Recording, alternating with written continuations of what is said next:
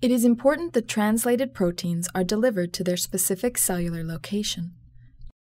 To accomplish this, the protein is transferred through a series of membrane structures. A principal membrane component is the Golgi apparatus. The Golgi apparatus is the sorting organelle of the cell.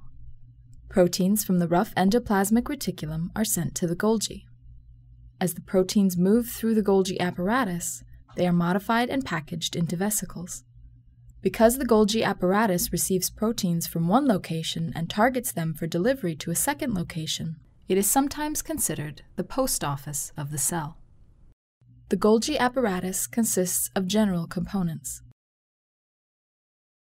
The cis cisterna nearest the endoplasmic reticulum, or ER, the medial and trans cisternae, and the trans Golgi network. Other key players in this process are the proteins being transported and the enzymes that modify them. Translated proteins are encapsulated in vesicles in the ER. A group of these vesicles fuse, and these fused vesicles form the cis cisterna. As the protein moves through the stack, it is modified by resident Golgi enzymes at specific locations in the apparatus. These modifications are important because they provide the signal that determines the final destination of the protein. So how does the protein move through the Golgi? Movement occurs in waves.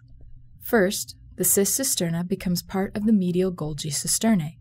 Behind it, a new cis cisterna is formed by the fusion of vesicles from the ER. Meanwhile, one of the medial cisternae migrates and becomes the new trans cisterna. Collectively, this process is known as the cis maturation model. Proteins are sorted within the trans Golgi network. Proteins with the same target sequence are destined for delivery to the same location.